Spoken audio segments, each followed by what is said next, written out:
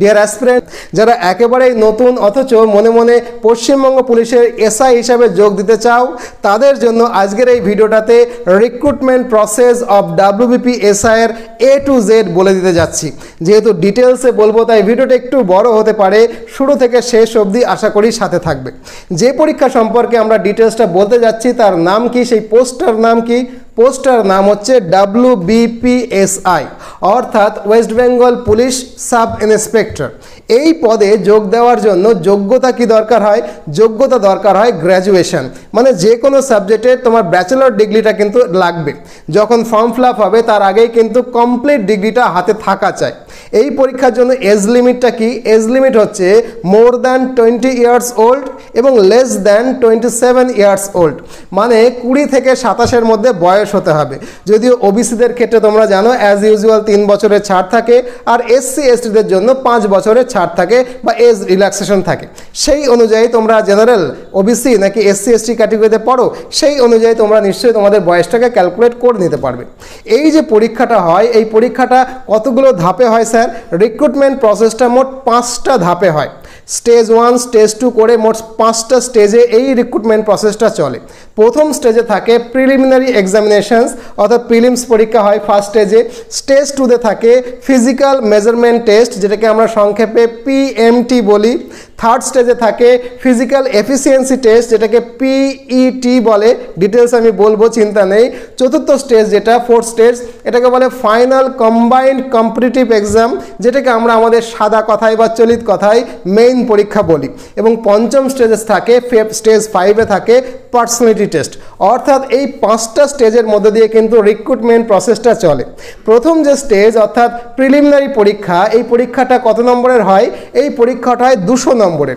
দুশো নম্বরের পরীক্ষা হলেও এখানে কিন্তু একশো নম্বরের এমসিকিউ থাকে। মানে একশোটা এমসিকিউ পেপারে তোমাদের পরীক্ষা দিতে হবে। প্রত্যেকটা এমসিকিউ এর জন্য বরাদ্দ নম্বর থাকবে দুই, অর্থাৎ মোট নম্বর হচ্ছে দুশো নম্বর।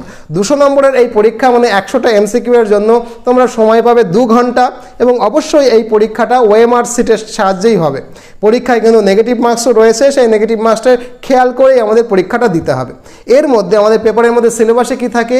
জিকে থাকে পঞ্চাশটা এমসিকিউ জিকে বা জেনারেল নলেজের উপরে পঞ্চাশটা এমসিকিউ থাকে ম্যাথামেটিক্স থেকে থাকে, পঁচিশটা এমসিকিউ এবং জিআই বা জেনারেল ইন্টেলিজেন্স বা রিজনিং থেকে থাকে পঁচিশটা এমসিকিউ। এই পঞ্চাশটা এমসিকিউ জিকে পঁচিশটা এমসিকিউ ম্যাথ এবং পঁচিশটা এমসিকিউ জিআই বা রিজনিং থেকে মোট একশোটা এমসিকিউ প্রিলিমিনারি পরীক্ষাতে কিন্তু থাকে। প্রিলিমসে আমরা যে মার্কসটা পাবে, সেই মার্কসটা কিন্তু শুধুমাত্র কোয়ালিফাইং নেচারের হয়। মানে কোয়ালিফাইং নেচারের একটা স্ক্রিনিং টেস্ট এই মার্কসটা কিন্তু ফাইনাল মেরিট টেস্টে তোমার যোগ হবে না। যদি এই পরীক্ষায় কাট অফ তোমরা টপকে যাও, তাহলে তোমরা পরের স্টেজে যাবে বা পরের স্টেজের জন্য ডাক পাবে। নর্মালি দু হাজার একুশ সালে প্রিলিমিনারি পরীক্ষায় কত কাট অফ হয়েছিল স্যার?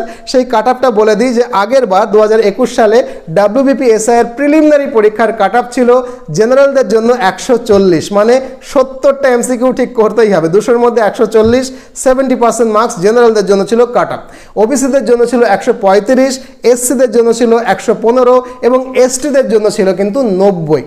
অর্থাৎ এই কাট আপটা যারা টপকাতে পারবে, তারা প্রিলিমিনারি স্টেজ ওয়ান থেকে স্টেজ টুতে ডাক পাবে।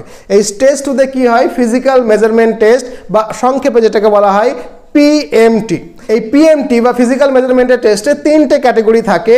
প্রথম ক্যাটেগরি হচ্ছে আন আর্ম ব্রাঞ্চ যেটাকে ইউবি বলা হয় আন আর্ম ব্রাঞ্চ এই আন আর্ম ব্রাঞ্চের জন্য জেনারেল ক্যাটেগরিদের জন্য হাইট লাগে একশো সাতষট্টি সেন্টিমিটার আর ছাতি লাগে বুকের বুকের উনআশি সেন্টিমিটার এবং তার সঙ্গে পাঁচ সেন্টিমিটার ফোলাতে হবে এবং ওজন লাগে মিনিমাম ছাপ্পান্ন কেজি। কিন্তু তোমরা যদি গোর্খা বা রাজবংশী হও, তাহলে হাইট লাগবে হচ্ছে একশো ষাট সেন্টিমিটার এবং ছিয়াত্তর সেন্টিমিটার বুকের ছাতি লাগবে, অবশ্যই পাঁচ সেন্টিমিটার ফোলাতে হবে, ওজন লাগবে বাহান্ন কেজি। এবার আসি ক্যাটেগরি টুতে ক্যাটেগরি টু হচ্ছে আর্ম ব্রাঞ্চ এটা স্ট্রিক্টলি ফর মেল জেনারেলদের জন্য এখানে হাইট লাগবে একশো তিয়াত্তর সেন্টিমিটার বুকের ছাতি লাগবে ছিয়াশি সেন্টিমিটার প্লাস পাঁচ সেন্টিমিটার ফুলিয়ে বাড়াতে হবে এবং ওজন লাগবে মিনিমাম ষাট কেজি। গোর্খা বা রাজবংশী যদি তোমরা হও, সেক্ষেত্রে হাইট লাগবে একশো তেষট্টি সেন্টিমিটার, একাশি সেন্টিমিটার লাগবে বুকের ছাতি এবং অবশ্যই পাঁচ সেন্টিমিটার বাড়াতে হবে, ওজন লাগবে চুয়ান্ন কেজি মতো। এবার রয়েছে ক্যাটেগরি থ্রি, ক্যাটেগরি থ্রিটাকে বলা হয় লেডি এসআই, তাই তো? লেডি এসআই, এটাকেও ইউবি বলা হয়। এই লেডি এসআইদের জন্য উচ্চতা লাগবে একশো ষাট সেন্টিমিটার এবং ওজন লাগবে আটচল্লিশ কেজি। লেডি এসআই গোর্খা বা রাজবংশী হও, সেক্ষেত্রে একশো পঞ্চান্ন সেন্টিমিটার লাগবে হাইট এবং ওজন লাগবে পঁচা- এবং ওজন লাগবে পঁয়তাল্লিশ কেজি মতো। এই স্টেজ টুতে যদি তোমরা পাস করে যাও বা মেজারমেন্ট যদি ঠিকঠাক থাকে, তখন তোমাদের স্টেজ থ্রিতে ডাকা হবে। স্টেজ থ্রিটাকে বলা হয় ফিজিক্যাল এফিসিয়েন্সি টেস্ট বা পিইটি ফিজিক্যাল এফিসিয়েন্সি টেস্টে কি দৌড় করানো হয়? দৌড় একটা করানো হয়।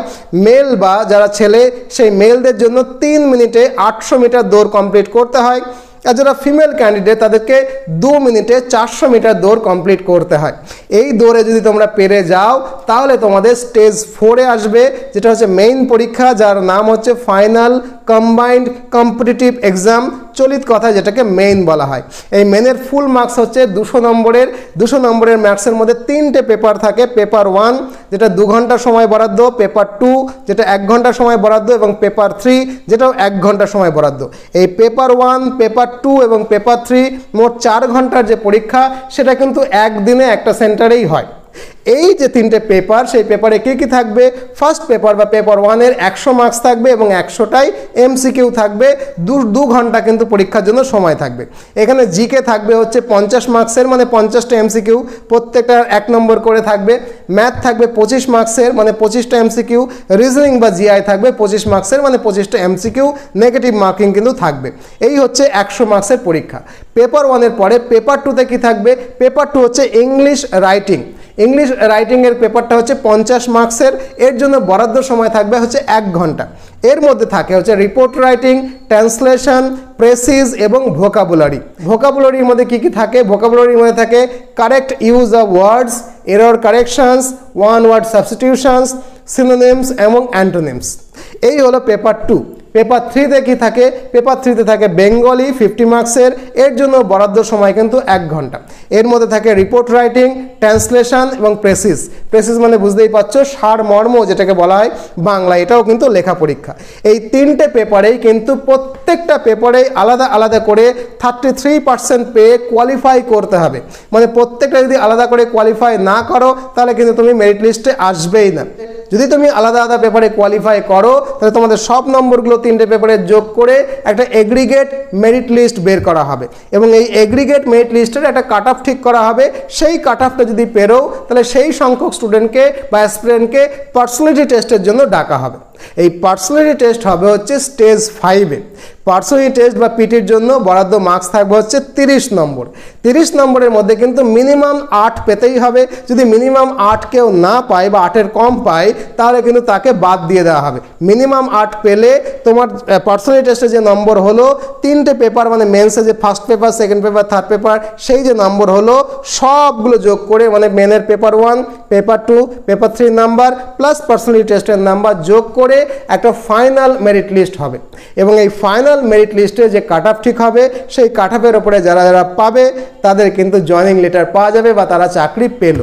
চাকরি পাওয়ার পরে একটা ছোট ভেরিফিকেশানস হবে, তাই তো? একটা মেডিকেল টেস্ট হবে, সেটা খুব একটা মেজর ব্যাপার নয়, খুব মাইনার ভেরিফিকেশানস মেডিকেল টেস্ট এইটা হয়ে গেলেই কিন্তু ওয়েস্ট বেঙ্গল পুলিশের সাব ইন্সপেক্টর হিসাবে তোমরা জয়েন করতে পারবে। যেমন এবছর দু হাজার একুশ সালের রেজাল্টে আমাদের ইনস্টিটিউট থেকে এখনও পাওয়া সংবাদ অনুযায়ী মোট তেরো জন জয়েন করল। যদি মনে হয় যে ওই তেরো জন পেয়েছে, আমরাও পাবো বা ওয়েস্ট বেঙ্গল পুলিশের সাব ইন্সপেক্টর হিসেবে আমরাও জয়েন করব এবং আমার সঙ্গে তোমরা তোমাদের প্রিপারেশান শুরু করবে। তাহলে অবশ্যই এই নম্বরে হোয়াটসঅ্যাপ করো। আমরা কিন্তু এ সপ্তাহে ওয়েস্ট বেঙ্গল পুলিশের এসআইয়ের ওপরে একটা কমপ্লিট ব্যাচ লঞ্চ করে দিয়েছি।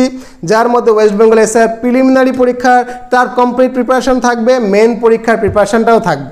এবং মেন পরীক্ষা প্রিপারেশন টোপকে গিয়ে যদি পার্সোনালি টেস্টে ডাকো, তাহলে আমি তো তোমাদের সঙ্গে থাকলাম। তোমাদের ভাইবা বা পার্সোনালি টেস্টের দায়িত্ব তখন আমার হবে। অর্থাৎ যে ব্যাচটা লঞ্চ করতে যাচ্ছি, সেটা প্রিলিমস মেন্স এবং পার্সোনালি টেস্ট গোটাটাকে কভার করবে, কিন্তু খুব সামান্য ফিজে পড়া যাবে আমার সঙ্গে। যদি মনে হয় তোমরাও কিন্তু আগামী দিনে ওয়েস্ট বেঙ্গল পুলিশের এসআই হিসেবে নিজেদের জয়েনিং দেখতে চাও বা ওই পদে নিজেদেরকে দেখতে চাও এবং আমার সঙ্গে তোমাদের প্রিপারেশন শুরু করতে যাও একটা জেনুইন প্রিপারেশন অবশ্যই এই নম্বরে এখনই হোয়াটসঅ্যাপ করো। আমরা অলরেডি ব্যাচ শুরু করে দিয়েছি, সেই ব্যাচে জয়েন করে তোমরা তোমাদের মতো করে একটা জেনুইন প্রিপারেশন শুরু করো। ভালো থাকো, খুব শীঘ্রই আবার নতুন ভিডিও নিয়ে তোমাদের সঙ্গে দেখা হবে। আশীর্বাদ নিও।